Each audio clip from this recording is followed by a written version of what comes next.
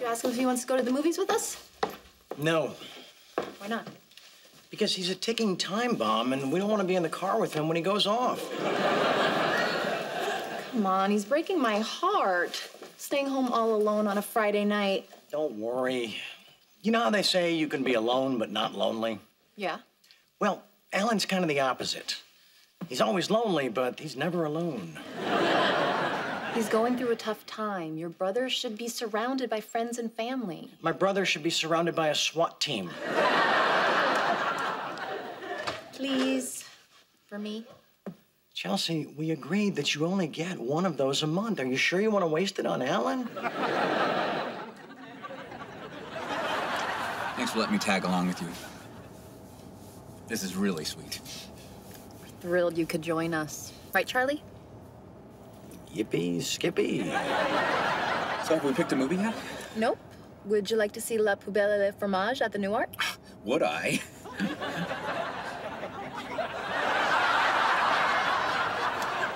Who are you calling Would I? Big ears. Now, Danny, watch your mouth. Why? Yours is the one that's moving.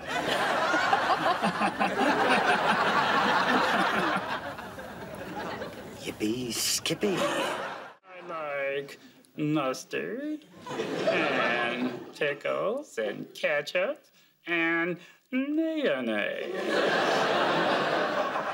mayonnaise. Mayonnaise. You and me need to talk.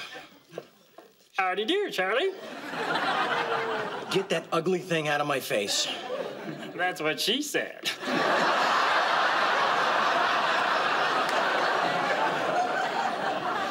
Danny, Danny, you're horrible. My hand to God, Alan. I will wrap that dummy with meat and throw him in the ocean. Don't forget the mayonnaise.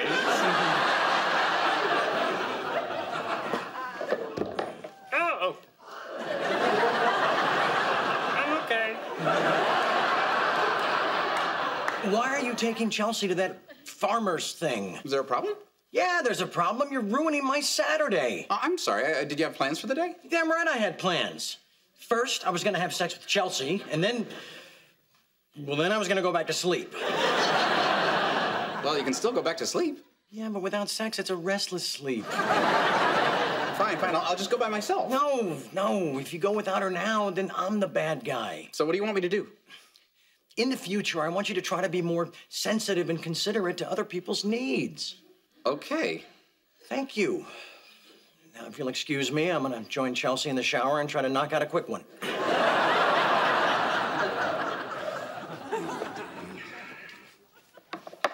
Sometimes he can be such a pig. Well, you know what happens to pigs. They get slaughtered. Danny, don't say it. Don't even think it.